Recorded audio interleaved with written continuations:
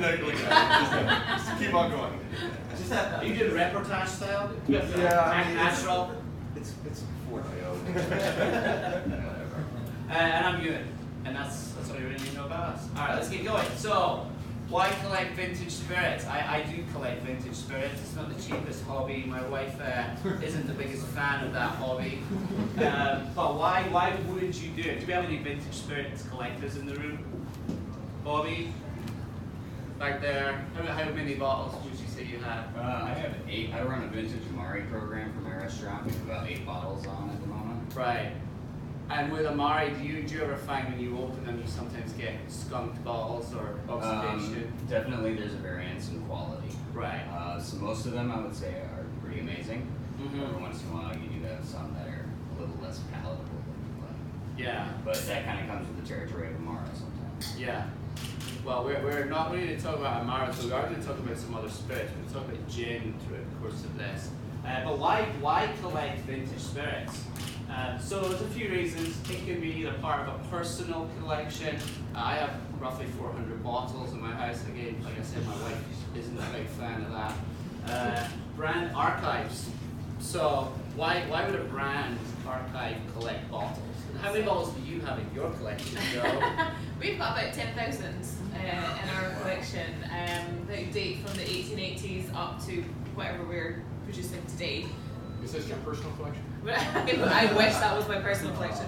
No, so this is the Diageo Archive um, bottle collection.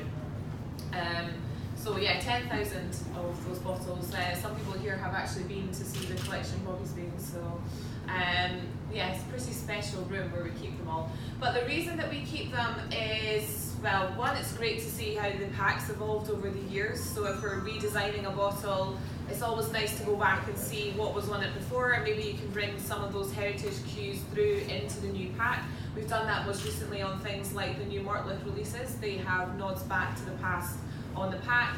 Um, and I mean, to be honest, it's just really special to stand in a room and see all these bottles around you and know that this is the legacy that you're continuing today. We don't drink ours, so that's the only difference. Ewan drinks his. Yeah. And now I'm sharing it. We can't, yeah, we can't drink ours. We're not allowed to open them, so they're they, they're there for display. Yeah, uh, much, much to the archive team's chagrin, I, I will send them pictures of empty bottles once we've done seminars with people, and they're like, that should actually be with us right now, not in, not in people's stomachs.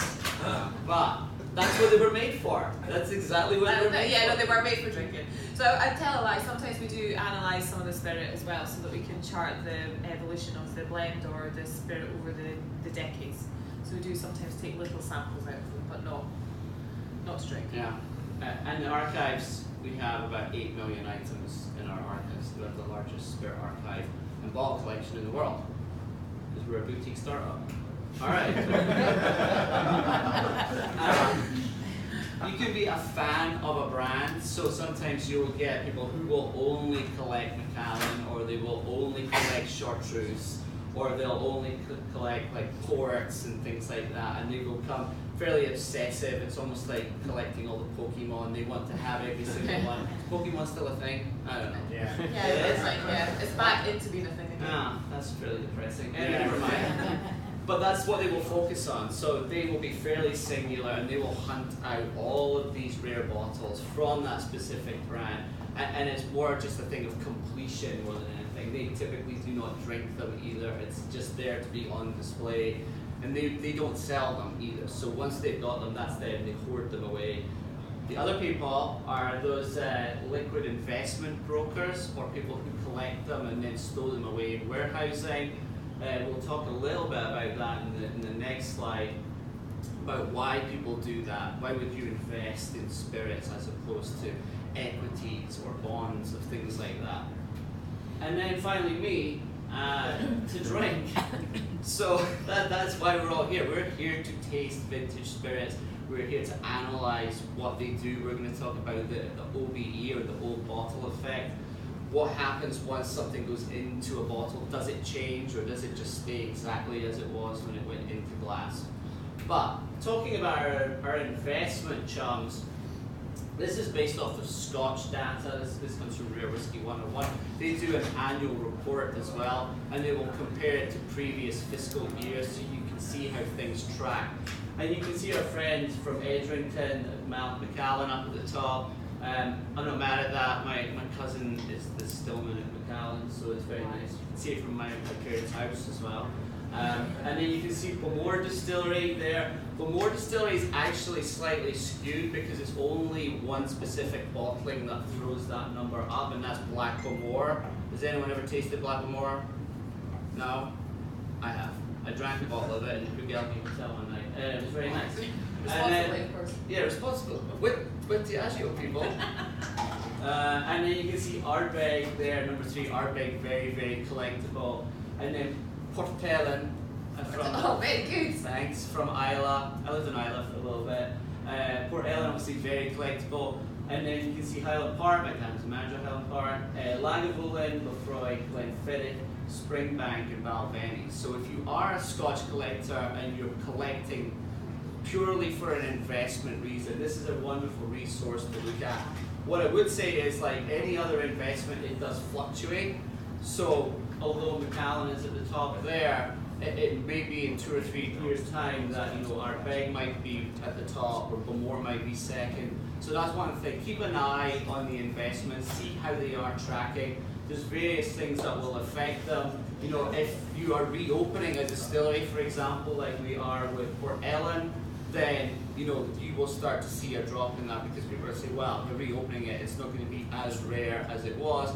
Although those original bottlings, the original liquids are obviously very rare, pre-1983 liquids. Does that make sense? Do we have any investors in here, any liquid investors? Are we going to have any at the end of this session? I definitely I'll say sell you all of these. Make my wife a little happier.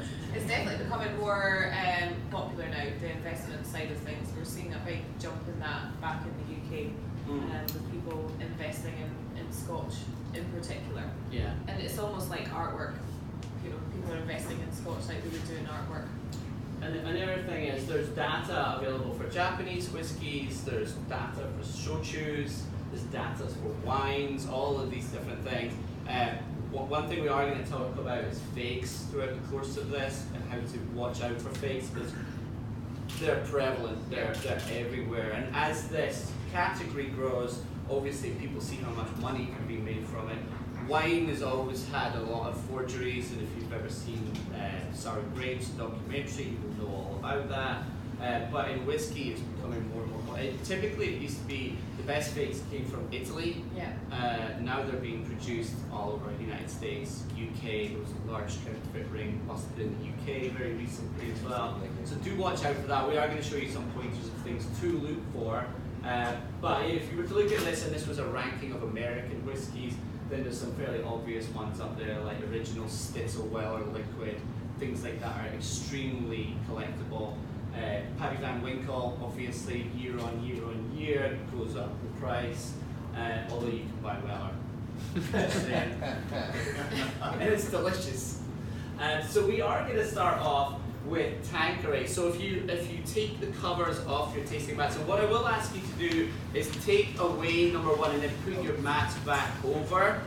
The reason for this is with vintage spirits you have accelerated oxidation. So once they come out, they will oxidize way quicker than a modern liquid would do. So we are going to keep those covered up throughout the course of this. Certainly until we get a little deeper into it. Hey Sean, I think there's a seat somewhere. There. There you go. Um, so, you missed all the jokes, Kenyon. Oh, Never mind. Uh, so we are going to start off with that. This is 1960s distillate of Tanqueray from the London distillery. Uh, we have an image of it here. So what I'll say is do not finish this because we have two, two uses for this. One, we're going to try a small sip of it and then we're going to bring out a, a Negroni base. So we're going to bring out some And sweet vermouth and then we're going to make a 1960s Negroni a la Minute. You can even use your little pinky finger to stir it in there a la Gary Regan's. Or you can just give it a little swirl. But we are we are going to taste it. But I'm going to let Joe talk a little bit about the original distillery, uh, or the distillery certainly that this was made at in London. So So the distillery that this one came from is based in um, Clerkenwell in London. Um, we chose this site predominantly because we've got good water there, which is key. You absolutely need that if you're going to be running a distillery. And also it's very easy to get um, botanicals into this place because it's quite near the docks in London and also you can get your spirit out. So again, that's just key for trade coming in and out. Um, you'll notice maybe on the picture it says Tanqueray Gordon and Co. So um, Alexander Gordon and Co. and Charles Tanqueray and Co. merged in 1898 to form the largest gin house in the world. Um, and world domination of gin, yeah. um, so they moved, Tanqueray actually moved their production to this site um, in Goswell Road here. And actually the picture doesn't quite do it justice because they really owned that entire street. So they had offices and a distillery on one side and warehousing and bottling on the other. So it was a massive operation here in the centre of London. And this place was so synonymous with gin, you just called it the house. So where did you work? I work at the house. Pretty cool. And this is a picture of inside that um, still house here. So again, this is actually from about 1960. The distillery itself was pretty much destroyed during the Blitz um, in London, and then they rebuilt exactly where they were. So this is post uh, World War II, and they reopened in 1957. And uh, this is the new shiny still house there.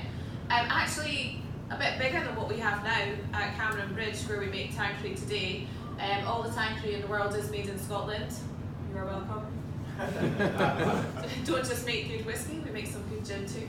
And um, there's only three stills at Cameron Bridge that make uh, all of the Tanqueray. So it's you know it's very much a craft business, just craft at scale, as we like to say. The little uh, still that you can see on the bottom left, that's Tiny 10. So if you drink Tanqueray number 10, um, the citrus heart for Tanqueray number 10 is made in that still. So again, it's quite an old still. Um, but not our oldest, uh, that is Old Tom, which again, your Tanqueray that you're drinking, uh, the 1960s one, and the Tanqueray that you will drink today is all made in Old Tom, and that still is about 250 years old. Going strong. We're going to tell them a little bit about what else Charles Tanqueray got up to. He didn't just make gin, did he? No, so Charles was quite um, an eccentric person. So he um, was a chemist. So we are delighted to have his recipe books at the archive, and we use these a lot to inspire new Tanqueray products. So if you have enjoyed a Tanqueray Flor de Sevilla, a Malacca, um, Bloomsbury and Old Tom, these all come from the, the limited edition, the recipe books that we have. Um, but as you look through these, you'll also see random things like boot polish recipes and recipes for pills for your horse if it's got a sore stomach. So he was a bit crazy. Definitely used that chemist's mind to make more than just uh, alcohol products, but I love that about him. He was quite an eccentric. So let's all have a little taste of the like. So typically, what we will do in, in what we call sensory analysis in our industry is, is you'll do a few things. You'll look at color. This is absolutely clear, so there's no point looking at the color. Please just take a small sip of this. The other thing we do is we do nosing. What we'll do in our labs is we'll take alcohol down about 20% alcohol by volume because we'll be sometimes nosing hundreds of samples throughout the course of the day.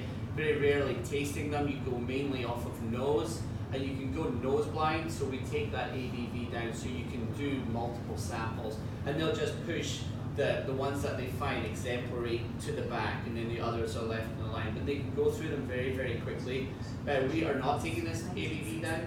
So what we are going to be doing next is having a little nosing session. So there's two schools of thought on this. The first school of thought is that you see the little dot bang in the middle you take this index finger and then you find the exact middle spot you shove your nose as far in there as possible and then do this whilst hoovering up all of the aromas. Second school of thought is uh, that you keep a distance and then you keep your mouth open, slightly circulate air, walk from nostril to nostril, take it away, bring it back, do that multiple times and then you'll start to pull out the botanicals from this in this case, or if it was a whiskey, the congeners. So the reason, there's one, well, two reasons why you want to do this first bit by doing this is one, you have a thing up your nose that's called your olfactory bulb, your olfactory epithelium. It's hardwired straight into your cerebral cortex. It's extremely powerful. It's a hark back to when we were lizards. I don't know if you believe in that or not, if you're right or wrong. wrong if you don't. Anyway, so we were. Uh, but you have a very, very powerful brain and an extremely powerful nose. So trust your initial instincts with all nosing and write down your initial thoughts. We call those primary selectors. And then you can write down your second ones and we call them secondary. And then we have tertiary as well. And start off with basic building blocks that not only you will understand, but other people will understand. So if you're working on a panel, for example, and you're writing down there this smells like ocelot musk on a summer morning somewhere in Umbria, then someone's going to be like, what the fuck does that mean? That doesn't mean anything to me. But if you're writing down there like you get like a, a slightly musty character to it, then you're getting you know all these different things like a slight botanical nose to it, heavy juniper, prickly, spicy categories like that. Or if it's in the case of like smoking whiskey, you would write smoke. It's that simple. And then from there you would write down vanilla, creamy, so on and so forth. So you have these indicators that you understand and then other people understand as well. So that that's the nosing thing. One, I'll, I'll tell you a small story before we get into the tasting bit. Is when I first moved over from uh, from Scotland to the US nearly 10 years ago, I was doing a women in whiskey seminar in Washington DC, and in the in the UK we call our noses our hooters. And uh, I said, you see where this is going. I a room full of, of fairly esteemed, wonderful women, don't shove your hooters in your glass. Someone came over and whispered in your ear, that doesn't mean what you think it means in this country. Thankfully, none of them did. Uh, all right, so the next thing we're gonna do is we're gonna have a small sip if you haven't done already. Uh, move it around your palate, like I say, circulate the air, draw it in over your tongue, and then breathe out through both nostrils once you've swallowed for as long as you can. It's called retronasal olfaction. It's a good way of circulating air so you're getting more contact with the back of your palate and also like your nasal canal and through that olfactory bulb. So let's have a little taste.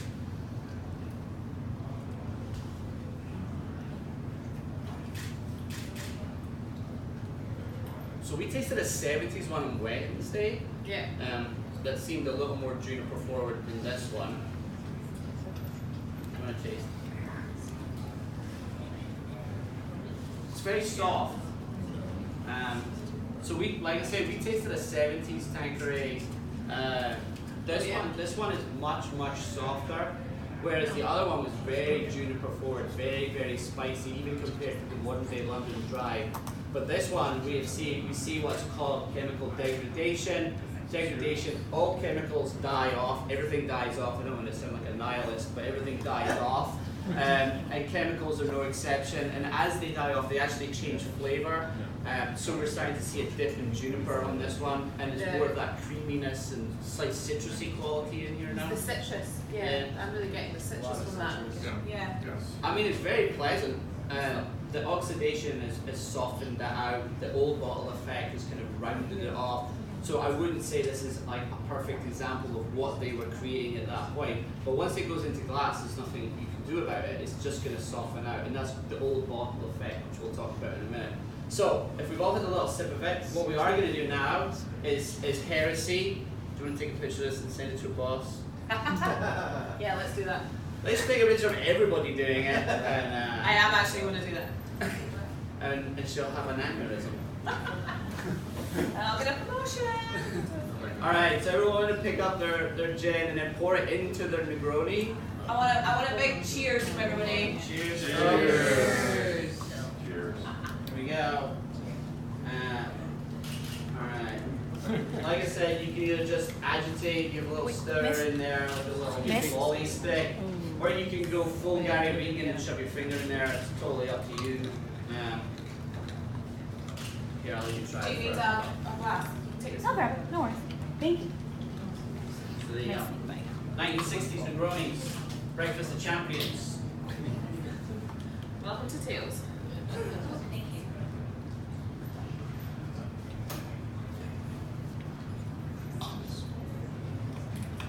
So, Oh yeah. I, uh, I should have said at the beginning of this, we're all about responsible drinking. At Diageo, you are going to be drinking high-strength spirits throughout the course of this session. You have water in front of you, please do hydrate. I know it's fairly early in the morning. You do not have to finish all the samples in front of you. In fact, you don't even have to drink any of the samples that are in front of you. Quite why you would be here if you weren't going to do that, but never mind. But please be mindful of that. And if you feel like you need assistance getting to where you need to go at the end of the session, than let someone uh, know someone with a grey jacket and a beard standing next to a door. he's such a he's such a nice human being. He'll get you where you need to go. Uh, all right. So did we like that? Yeah. It was tasty. It was very very pleasant. I liked it a lot. Oh yeah, Oh. yeah. Here you go.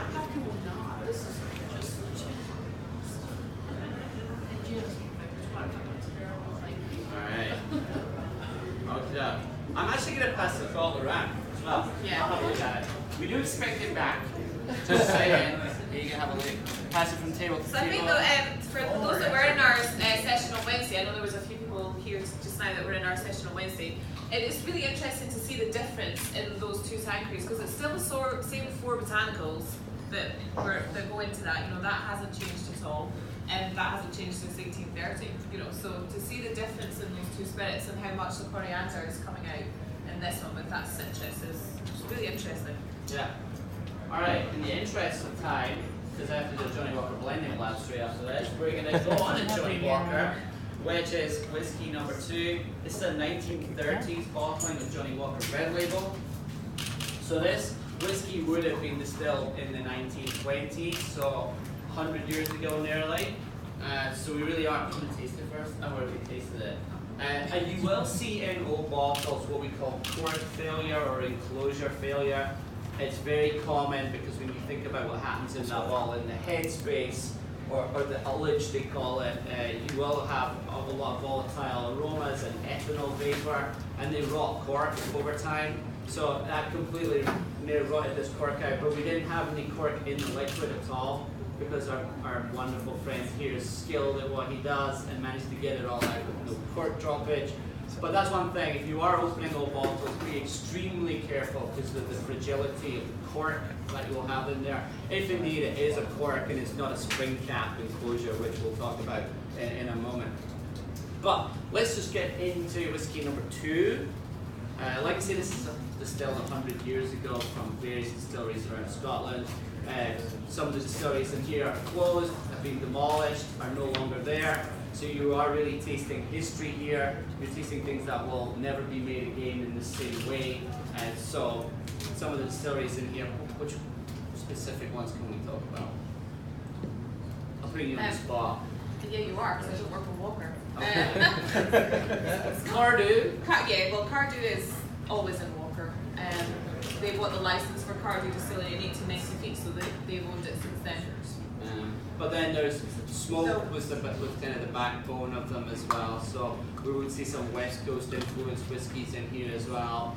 Uh, possibly possibly Caol Ila. Kalila, I was, yeah, most likely Caol Ila would have gone into this as well to give it the smoke. Um, but I did taste this earlier on in the room next door because I was more worried about this whiskey than any of the others. Uh, because I've, I've tasted many old whiskies and sometimes with these old, old ones, you can have that over oxidation and they will actually start to turn into acetone. If you ever smell acetone on the nose and you can't, you can't miss it, do not drink it. Whatever you do, it will make you extremely ill. Uh, this does not have it at all. It's got a very, very soft nose to it. And when I was talking about degradation of chemicals, phenol is what makes smoky whiskey smoky. Uh, it comes from the peat. They die off as well. So typically at about 30, 40 year mark, you will start to see a noticeable dip in it. Obviously, this has been in the bottle for a long, long time, nearly 100 years. So we're going to see very little smoke in here. You will pick it out, but what we're going to see is more of the more softer flavors, more delicate flavors. So let's all have a little sniff and a little taste of this. Cheers.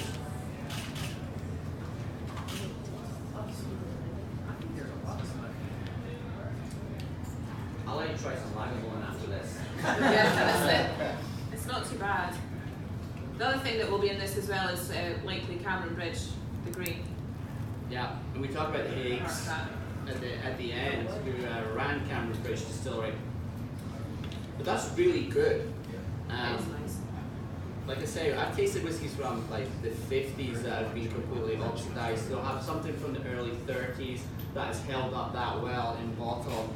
It's, it's fairly rare. So I'm very, very happy. Like I say, when I tasted it earlier on just before the session, uh, I was extremely pleased with how that liquid has held up. But it wouldn't have tasted like that when it went in. It would have been much smokier, more peppery, and those have all softened and all all but died off. What was the year on Early 30s, And the tank was sixty. 60s. Yeah. It's, sometimes it's quite hard to be a bit more specific than that because the bottle hasn't changed that often, so. Yeah. You're just going based on labeling and. Uh, label closure, yeah, we'll talk a little bit about that actually later on, how we date them, but predominantly that, yeah. Do you want me to pass the walk around as well? Just be careful, because it's not got a lid. Yeah, there's no. Keep it up, right. And don't drink out the bottle. Alright, spotting fakes. So as as you're all here, you should probably be wary of this. You know, there there be dragons out there because there are a lot of fakes out there. Things you should look for are, are dates, so do research on the distillery, find out when it was active. If it's a single malt and it says in there 1941, for example, then you know that it's not a real whiskey because World War II, all distilling for the most part shut down in the United Kingdom. Uh, typos, we'll see a really wonderful example of a typo in the next slide. Uh, sometimes from the Far East or you know from South Africa, places like that, we will see really obvious typos in there, uh, things that just don't make sense, uh, and we have a wonderful example of that. Incorrect tax strips is specifically for uh, American whiskey, or more so for American whiskey and Canadian whiskey. And I'll show you how you can date those as well, because there's, a really easy way of doing it. Smell, uh, so if you bought what you think is a Lagavulin and there's no smoke on the nose, then you know some, something's up here. Probably Bell's. Uh, and, and then the price. If the price is too good to be true, it's a fake. Every single time. Uh, it's just the way it is. So if someone says to you, you know, I've got an 1896 Macallan, I'm going to sell it to you for 500 bucks, just say, no thanks, I'm good. Uh, here, we, here we see a slide, I don't know if you can read this particularly well, but on the right hand side we have a counterfeit Johnnie Walker, and then on the other side we actually have a real one. There's a typo there, they've misspelled distillers. Uh, the code is printed in the wrong lo- location. So find an original that you know is an original, and it's just a case of where's Wally, like spot the differences between the two. Buy a good magnifying glass or a jeweler's loupe, one of the two. You will need them uh, because there's a lot of detail in there, specifically if you're looking at tax strips or UPC codes and things like that. Make sure you go over it. Don't buy anything on the internet without asking for a high resolution image of the front and the back and the top enclosure of the bottle as well. And make sure you go through it piece by piece by piece because some of the forgeries are very good, some are not so good. And we're going to see a really good example of that in this next slide. So, spot the difference.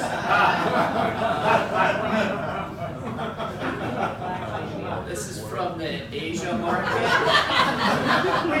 Uh, also, Is that, is that real? that's real. Yeah, it's real, It's real. There's a red label as well. so I'm sure you can get ointment for it, but you know. Uh, uh, they did, however, get the date right on it, 1820, so hats off to them for that one. They did, they did take uh, a facsimile of that, but Johnny Worker, Black Label, Old Scotch Whiskey, they spelled whiskey right, bonus point. And then my favourite bit, distilled, blended, and olded in Scotland. So, uh, so yes, yeah. I have a question. Do they do it on purpose? Like, No. no. copyright infringement or like what's? No, and we get these all the time at the archive. I was saying now, um, I'm getting one or two a week where I'm having to try and verify on behalf of auction houses or buyers the bottles that they've been sent that they want me to verify if they think it's authentic or not. It, it's a big, it is a big problem, and some of them are not as obvious as this. This one's hilarious, but um, you know, some of them are clever. This is like lazy like workmanship, you know, like. You've no idea. Yeah. no idea. They're everywhere. I've got a lovely bottle of Gordon's Panther piss. We're gonna finish off the session with it. Uh, so yeah, please, please be careful. Yeah. Is a label on an old bottle that looks too nice, like too pristine, is that Not, is that, that's a really good question, and not always, to be honest. So we bought a crate of, actually, we're going to try it not not from the crate, but some Haig Gold label um, that dates to uh, 1942. So just as they stopped to blend for the war, we got a full crate of that, and each bottle was individually wrapped in tissue and then in this straw basket and then sealed in the crate. And it had not been opened, so it was delivered to this guy's house. Still had the delivery slip. 1942 at 3 p.m. Port Street in Stirling. This guy got his delivery. He must have put it in his loft and forgotten about it. So his grandson brought it to the archive, and we opened it. Every single bottle in that is pristine. Like it looks like it's just come off the shelf. And I know it's authentic because we've got the provenance around it. So it's not always an indication. The other thing we have to be careful of now is that occasionally on auction sites people are selling label books, which is a big problem. Because if you then, as a forger, buy a label book, you can take the label out and put it on the bottle. So it's you just have to be so careful. Yeah. So do you think that, uh, in hindsight, some of these, uh, bakeries, they actually put a cryptic message in it that it is, they're not trying to just make a facsimile of it, but, you know, like this one here, it's obvious, I mean, it's very funny, but evidently it looks very bad, or they're. They're just bad. Yeah, honestly, I think it's just, and it depends on the market as well, especially things that are predominantly sold in the Asian market. They, they don't pay that much attention at all. No, because they're knocking out They're not hundreds and trying to hundreds. be, uh, clever, or, you know, leave a trace of, oh, this is. I, I don't think so. No, I don't think we have any like like master villain Bond geniuses out there who are like adding their little signature to it. No, they're just trying to make money. But the person who probably made this one on the right right hand side was probably knocking out another 15 or 20 rip-offs that day. Who's probably making Slack Daniels after this. So uh, would you say that was from the thirties or something? The Johnnie Walker you just tried from the 1930s, yeah. Alright, so what to look out for? We have some good stuff in here. Fill height. Sometimes you will get things. So if this is more for purchasing, if the fill height is really low, so like typically they would fill them to around about this mark. Depending on the brand, if you see a fill height below the shoulder, don't drink it. It's it's a collector piece more than anything else because you have this area here's called ullage, your head space. If you have too much oxidation, it's going to be undrinkable. So look at your fill height very carefully. If it's a really really old bottle and your fill height is like up here, it's it's a fake. Um, the enclosure, it depends on what kind of enclosure. Like we said, we had cork failure on, on two of these bottles from the 30s. That's very typical, so be careful of that. Or in the case of these, these are called spring caps. Has anyone seen these before? I'll pass them around. So very popular way of securing spirits. So all you did was take the foil off and then use your thumb and then pop it and then they have this little lug here and then you just push that forward and then it would come off. So I'll pass that around, you can have a look at it. Uh, so look at the enclosure, if it's tight, or if you can see there's like a, a visible tear in the foil, things like that, just be mindful of that. Again, go over it with your, your jeweler's loupe or your uh, magnifying glass. Condition of the cork is kind of based on the same thing. Also smell it. Uh, so you'll get like, if you smell like a funky character coming off of the cork, then that's not a good sign. Uh, but if it might just smell old and slight, slight dusty, there's, there's nothing too wrong with that. But if you get an off character, you'll smell it straight away. Uh, streaking, what I mean by that is specifically with these spray caps, sometimes the glue that was used in them, they, they used different types of glue. Some of the glue was really, really good, and others reacted with the ethanol. If you see streaking down the inside of the bottle, again, it's a collector bottle. Do not drink it because it's actually toxic. Uh, so be wary of that. And then condition of the label. So there's a few things that can come into play here.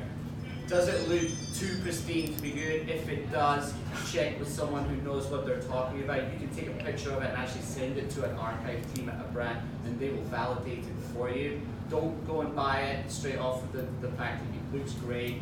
Make sure do your research because sometimes you're paying many, many thousands Yeah. for a bottle.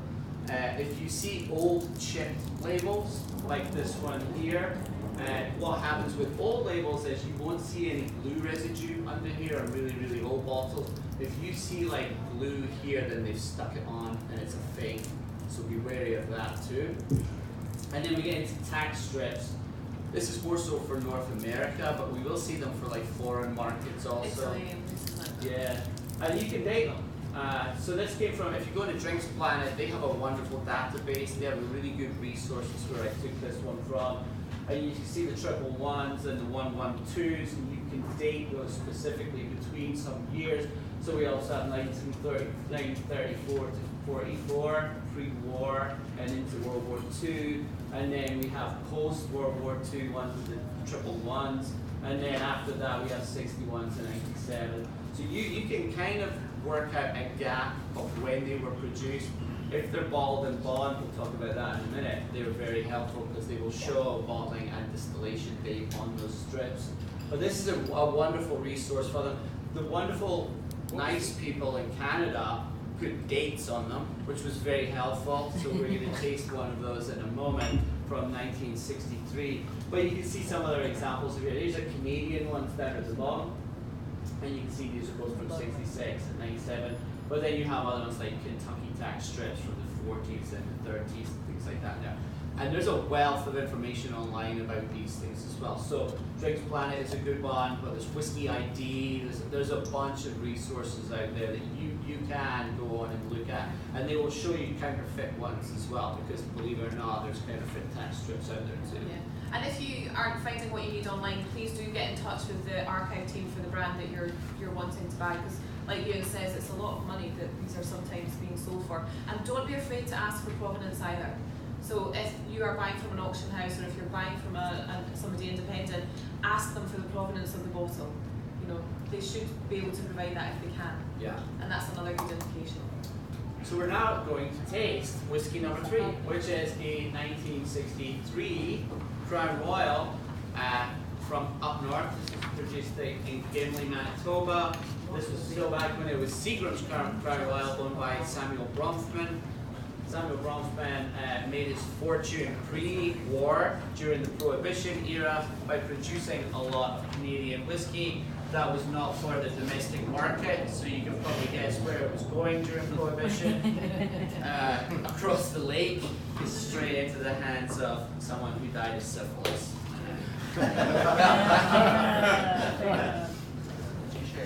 Uh, Alright, this is a. I, I actually picked this up. Uh, well, a colleague of mine picked this up from a restaurant in Washington D.C. that had it as a display bottle.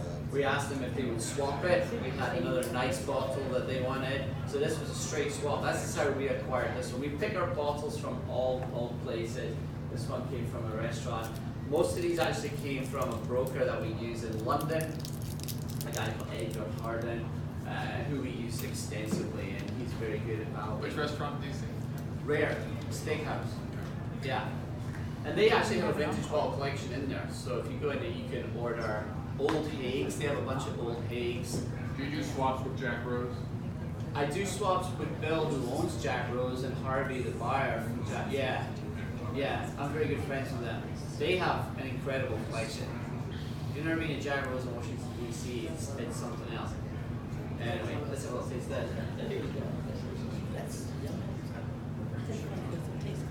So this one's held up really, really well. Um, this just tastes like Crown Royal. Uh, they perfected that recipe in the 40s, actually the late 30s, for the, the King and Queen of England who were coming over on a Canadian trip. So Bronfman created enough Crown Royal for that trip, created the brand for that trip, that's why it's got the crown on it. Came in the purple bag because it was going on a ship, uh, taking over on a ship over the lake, and then it was put onto a railway car, and then the royal trip went around Canada on a, on a train, and when they came off it, I think they only had one crate, 27 crates of Crown Royal left, so they obviously had a wonderful time up in Canada. Poutine and Um, but it's held up really well. Screw cap on this one, really great, really creamy. Uh, and, and I, I'm a big fan of Crown Royal. I think it's a wonderful whiskey. It's very well balanced. It's, it's a delicious whiskey. and I like the creaminess of it, and that's really what they're going for in that specific style. Did we like it? Yeah. Good. It's nice stuff. Uh, OBE, Old Bottle Effect. I talked about this a little bit earlier on. Some things that you have to look out for. One being what we call glassy. So glassy character, you can smell straight away. It has a slight chemically nose to it. So it's not acetone. It has almost a floral character to it. It's like it doesn't smell like whiskey. It has a slight off character. And you know just by nosing it, it's going to taste glassy. So it'll have a slight chemically flavor to it. Uh, do watch out for that. Oxidation we spoke about earlier on. If you get that really funky nose as soon as you pop it open, you know there's over oxidation. If there's if there's a low fill height in your bottle, you are gonna have oxidation. It, it just happens every single time, so be wary of that. But if you have a decent fill height and you have a solid enclosure in there, you're gonna be fine for the most part. Phenol degradation, this is more so with scotch. Uh, you're going to see, like like we tasted with the red label, it would have been a very smoky whiskey in its day. When we tasted it, there was very little smoke in there, so that is how it's changed in the bottle throughout the course of its life cycle. A drop in ABV, if you have some kind of enclosure failure or, or cork rot, things like that, you can have a substantial drop in ABV. So most of these went in at 40 or for ABV or 80 proof. And if you're sometimes down in the 20s or something like that, it's going to taste watery, it's going to taste off, and also the oxidation is going to increase. It's going to, it's not going to taste great. And then the worst of the worst is acetone. If you have an acetone turn in your liquid, do not drink it. Whatever you do, you will smell it straight away. It smells like nail polish, like a heavy nail polish character, a slight pineapple character to it as well. Please do not drink it. You'll be extremely sick. Um, we, we bumped into people before who've just been, oh no, it was really expensive, so I drank it anyway and ended up in hospital. It's very serious. So do not do it, whatever you do. I think I've been quite clear about that. So, So drink it, do it? Yeah. yeah. See, someone picked up on my subtle subtext. Uh, all right, so let's taste our next whiskey, which is number four. This is White Horse. Uh, White Horse was a huge brand here in the United States after World War II, before World War II, and through the 50s and 60s and the 70s. Uh, enormous. And then J&B actually took over as, as one of the largest Scotch blends of its time after that. The, this is a very unique whiskey because it contains some very rare, rare whiskey in here. It also has Lagavulin in it as well because this happy-go-lucky chap here, Sir Peter Mackie, owned the brand and he also owned Lagavulin Distillery as well. Um, he was somewhat of a tyrant, uh, part megalomaniac, part genius, part eccentric, his business partner called him. Uh, but he was fanatical about quality and fanatical about consistency. And this was his baby. When he created a blend, he wanted to make a, a smoke forward blend that had Lagavulin in it.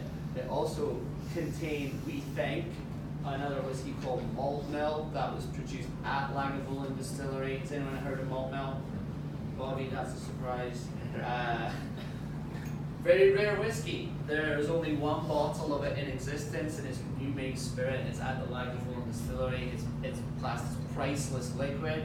They never released malt mill as a single malt. It all went into blends, and and this was one of the blends that presumed that was going into. So very rare, very old whiskies that were going in here, made by this lunatic here. Uh, he was he was such a interesting character that he fell out with his old business partner who ran Laphroaig Distillery at that point. If you've ever been to Islay, Lagavulin, and Laphroaig are right next to each other. He actually diverted their water source so they didn't have any water. He stole their master distiller and put them into malt mill and, and created a distillery within Lagavulin to replicate the Laphroaig style. It didn't work out particularly well, so it, it all got blended out. So yeah, don't don't fuck with him.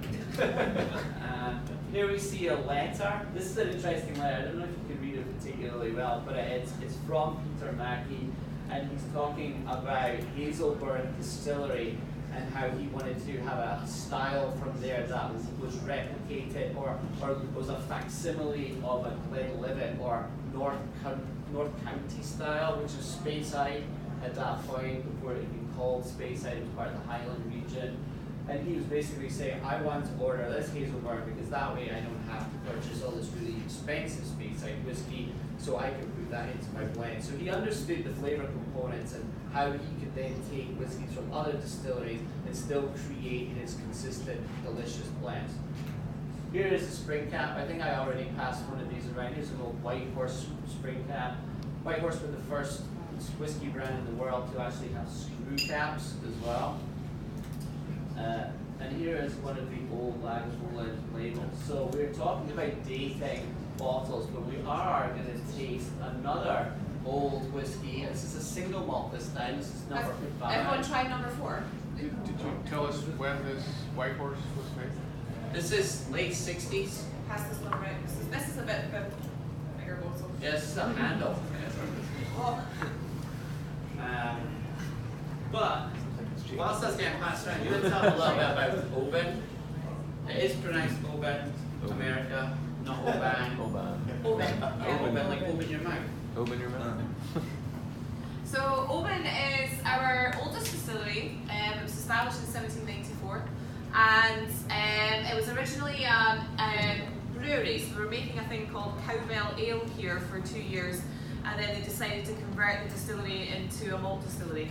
So it kind of bucks the trend in Scotland because um, at this time predominantly people were uh, running illicit stills and nobody was trying to do the right thing apart from these poor guys at Oban who were wanting to make a, a licit, a, a true licit whiskey rather than illicit. Um, and it's probably one of the, well, it's one of our smaller distilleries. Uh, it was originally marketed with uh, small still whiskies, and um, it's beautiful. So it sits here um, surrounded by the cliffs on one side and the sea on the other. So the distillery will never grow. It can't get any bigger because it's right in the centre of the town. And in actual fact, the town of Oban grew up around the distillery. So the distillery came first, and then the town came later. So that's priorities for you in Scotland, right there. Um, And Can you also, if you go up to the top of this street here, there's a really good Chinese restaurant. Fun fact. Fun fact, Ewan is obsessed with this Chinese restaurant. It's really good. um, but yeah, no, it's, it's an absolutely gorgeous distillery. Um, as I said, one of our smallest ones. Um, because of the way that it's uh, configured, they've got parts of the distillery operation in the roof because they can't fit it all in one space. so it's quite a quirky little distillery to walk around. And actually, I think now only seven operators work there. So it's a very small team of people making all your delicious open. Uh, yeah, the Cake's Folly up the back there, yeah. Yeah. Um, That's the thing on the hill. So the, the liquid here is from the 1970s. Uh, this is when it was still a 12 year old, it's now currently a 14 year old. That's the start standard line for Oban Distillery.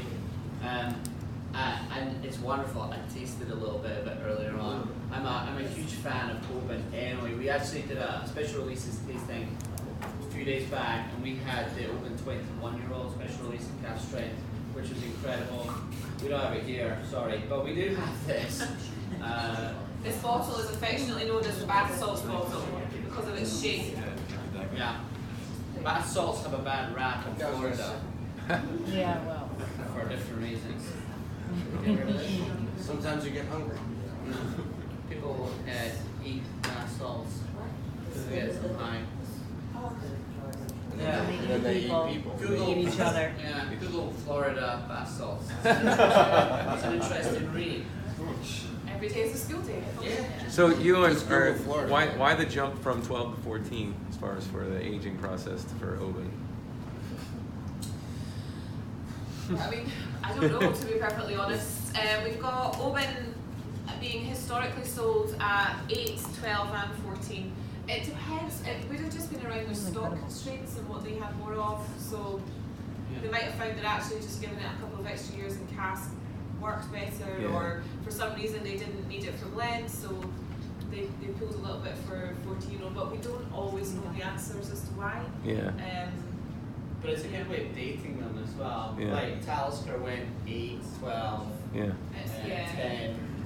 And then we now have an, an eight again as part of the special release. But you, you can date them through that Yeah, gap yeah. as well. And the bottle shape change was just they wanted to do something more streamlined, or it was I like think that would have been an expensive Yeah, that was haul. a, yeah, that was quite Expensive, yeah. expensive. I mean, I think we still actually use that to sell President whiskey in for Oh, that yeah. time. But the um, yeah, the change to the sort of more standard like that shape now that you've got Yeah. for Oban, that would have been a cost. cost, yeah, Right, yeah. cool.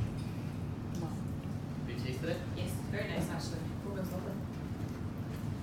Right, It used folks. to be a thirteen year old. All right.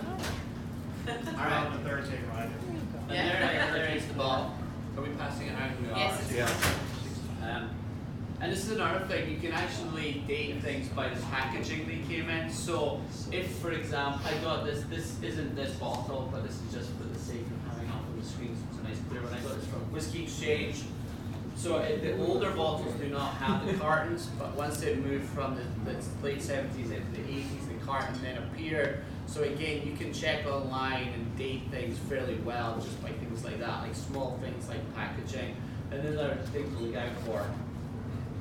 Um, so we're going to move into this. So here are some things you can do to help date things out. So if you're looking at very very old bottles with with the hand blown ones that don't didn't come from a mold, if they have bubbles in them, then you're looking at things from the 1880s or before. Glass seam, so the three-piece mold, as it's called, appeared in the 1890s, and that's when you will start to see the seam coming up the outside. Uh, tax strips we spoke about earlier on, probably the most famous is the triple one and the one one twos for dating things out. Uh, distillery name, owners and address do do this, so go back and check and see if those match up because sometimes distilleries move, owners have obviously changed throughout the life cycle of the distillery and addresses of the headquarters will change as well. So make sure you match those up with historical records to see if they do make sense because if they don't, it's a fake. Uh, this is more so for Canadian or for uh, UK bottlings. You will see what's called the Royal Warrant on them. If it, it's got the Queen or Her Majesty the Queen Royal Warrant on it, then you know it's 1953 onwards. Prior to that, you will see the King on there, or some of the bottles even have the recently deceased King written on them too. Wow. You can have a good way of dating your bottles through from there. Barcodes appeared in the 1980s, so if someone's trying to sell you a bottle selling you it's from the 70s and it's got a barcode on it, it's not. Uh, and trust us, that happens a lot. Uh, age statements, we just spoke about. Age statements for brands will change throughout the course of history. So sometimes, like we're talking about, Talisker went from 8 to 12 to 10. You can date things pretty well based on what those age statements look like. Other things you can look at, more so with Scotch, if you're buying or looking at Scotch that's been matured in sherry, then you will start to see sherry element or sediment down at the bottom of them. If it's completely clean and clear or even quite golden in colour, it's not sherry and it's a fake. Uh, good ways of dating things. If you are going to buy something and it's extraordinarily expensive, you can actually ask them to take a, a, a needle draw from it and you can send that sample to get radiocarbon dated. They actually do it with carbon 14, which degrades over time at a very consistent pace, so we can carbon date liquid. So if you're buying something from the 1800s, you can get that done and they will tell you when, when it was made. Uh, carbon 14 is a very interesting thing. It was affected by gamma rays from space. If you want to Google that, it's fascinating stuff. Gamma rays from space also, uh, if you ever listen to podcasts, you can go on Radiolab, they talk about gamma rays and what they do. Uh, they can actually do a thing called bit flipping where they'll change a zero to a one in the computer system. Of course, it's plane nearly crashed with that. Anyway, that's another thing. Nuclear reactor nearly went into meltdown as well. Uh, and then we have here GHC, this is gas headspace chromatography. Same thing. If you're if you're not convinced about the validity of something, you can actually send it away to a lab. They're everywhere. And you can have it done in the United States. There's a very good one in Germany that we use as well. And they will match that against the template, so you can say, look, here's what the liquid should look like. This is a Johnnie Walker Black from the 1930s, here's what that template looks like. They will match it up, and if it doesn't match, it's a fake. And they don't need much uh, liquid to do this either. It's like a two mil sample that they need to take to be able to do any of these tests. Yeah. Uh, bottle and bond strips, so they, they're very helpful. They have an awful lot of information on them. Uh, if it has a size on it, like a half a pint or something like that, then they're pre 73s. Uh, if they do not, then they are post 73. Uh, lithographic versus modern prints. So back in the 1800s, there were mainly lithographic prints. Could spot them; they're very, very high quality. Then once they moved into modern printing, if you go under and look at them through a uh, magnifying glass, you will start to see the pixelation dots appear in there where you wouldn't see them before. And then this is more so for the United States. Pre 1980, you guys switched from metric versus imperial. If you're seeing old imperial ones, it's before 1980. So January the 1st, 1980, the TTV put that in force. So you guys changed over to mils, so you were in 750s and so on and so forth. A good way of dating things out. And then your emboss here, the, the federal law emboss was running from 35 to 64, but please do not reuse or resale. You'll see that on the back and the neck portion of the bottle. That's another good way of dating things out. UPC codes. The first five digits of the UPC you can link back to a brand or a company. Double check that because sometimes forgers get the wrong UPC codes on there. So if they're trying to tell you that it's a Heaven Hill plug and you put in the UPC number and it comes up and it says that it's Crown Royal, you know that it's a fake. And then on the bottom of the bottle, what we call the punt of the bottle, you will see sometimes two digits that will tell you when the glass bottle was produced. If that doesn't match up with the labeling or when they say the provenance of the bottle comes from, it's a fake. Uh, and our final whiskey, this is another 1930s whiskey. This is from the Haig Company, uh, the Haig Brothers, Hagen Hague. This is gold label. Uh, we, we picked this one up. I haven't actually tasted this one, so I don't know what it tastes like. I haven't nosed it yet either. So this is a bit of a voyage of discovery for all of us at the same time. This is, I think, actually 1941, if I'm right. That's got an appointment to the late King George IV Right. with uh, Royal Warrant on it. I I don't know the dates of my kings and queens. I think it's 41. I think it's 41. In fact, Yeah. It's in there. Don't always trust what's written on the label you in, in Biro. I think that's pencil. uh, regardless, let's all have a little taste of our final whiskey. Okay, let's not put a lid on it either, so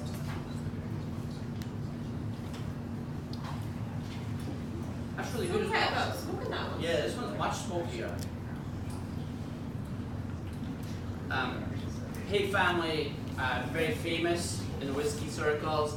They ran Cameron Bridge Distillery. They opened Cameron Bridge Distillery, which was the site of the first patent still continuous distillation in Scotland for the, the whiskey boom that came on from the phylloxera infestation in France. In the 1850s, some English botanists brought some cuttings over from the United States of vines Unbeknownst to them, they were full of the phylloxera the phylloxera bug, that then ravaged the south coast of England. All the wine wiped out. It then moved into France and decimated the wine crops of France. So cognacs and so on and so forth, wines were no longer available, and the upper echelons of society couldn't have their brandy sodas, so they looked for something else, and it was Scotch. so they were having their Scotch and sodas, and it exploded. That's where the Scotch boom really started. And to this day, uh, Scotch outsells cognac 12 to 1 in France. Thank you very much. Uh, but they needed more whiskey, so they needed to do continuous distillation rather than just pot still distillation for their blends. And so they were really the pioneers of, of that methodology. But that's really good. It's nice. It's delicious. So and then I think we're going to finish almost on time. Do we have any final questions before we wrap up? Did you all enjoy it? Yes. I have a question. Is that one person to clap? Did you all enjoy it?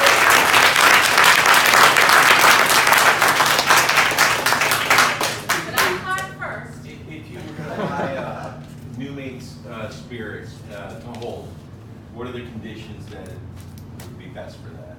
a new make spirit, so that wouldn't be a whiskey, that would just be classed as new make spirit. So unless it's been matured in a warehouse in Scotland for three years and one day, it would not be whiskey. After, it's- let's say you were purchasing though after that aging period and it's bottled, uh-huh. you Uh-huh. wanted to hold on to it.